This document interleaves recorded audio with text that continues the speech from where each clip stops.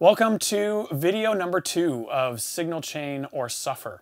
My name is Grant from Goodwood Audio and we are doing a four-part series on signal chain and why you should care about it. So today we are going to cover the dry section of your pedal board. When I say dry section, I am referring to typically the pedals that come first in your signal chain. So guitar into fuzz would be a dry pedal, overdrives, compression, boost, uh, those types of effects. So the dry section of your pedal board uh, really does matter in terms of the order you run those effects. But first you might be wondering, why don't we run delay and reverb and then go into our overdrives? It's a great question and one that is probably best shown by an example. So let's start with delay running into an overdrive because I can really demonstrate why people typically don't go for this sound.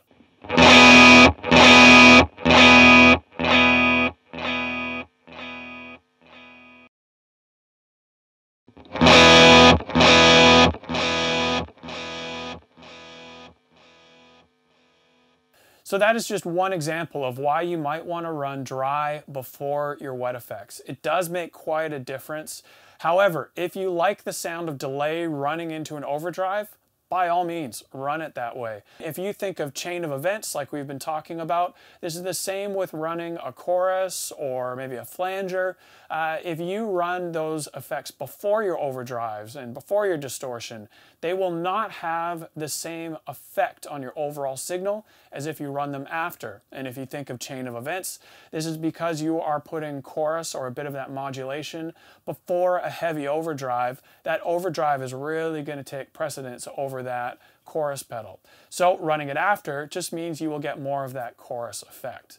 Let's get into some more sound examples within the dry section. So a very common question is, should I run my boost before my high gain overdrive? Or should I run my low gain before my high gain? High gain into low, all of this is very common and they are great questions to ask. Best demonstrated with an example. So let's run a low gain into a high gain and then flip the order. Here we go.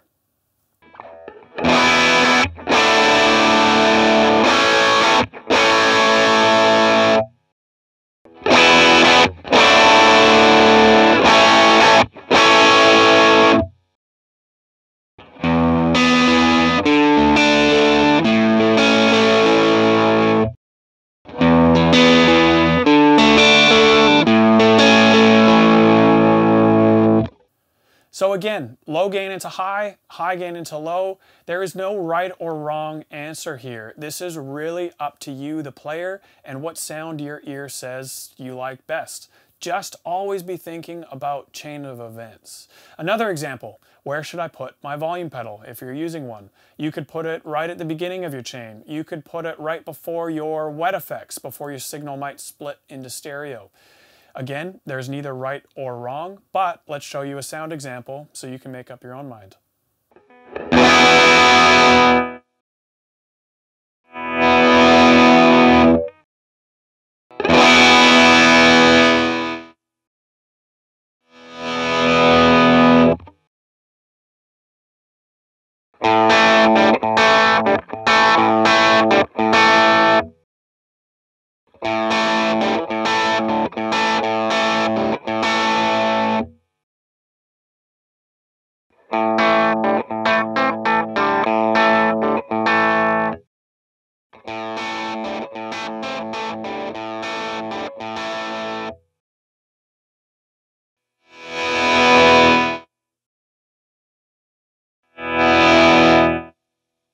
So as you hear, there is a drastic difference if you run volume before your overdrives or before your gain and after your gain pedals. Again, it's totally up to you what you like better. One thing to keep in mind though, if you do run your volume pedal first, you are limiting your options because you will almost always have a volume pot on your guitar as well, which will similarly clean up those overdrives when you pull it back. So if you want to keep your options open, Pull back the volume on your guitar when you want to clean up your gains. Pull it back on your volume after your gains when you want to reduce the overall level or do some swells with gain still happening in the bottom of that sweep.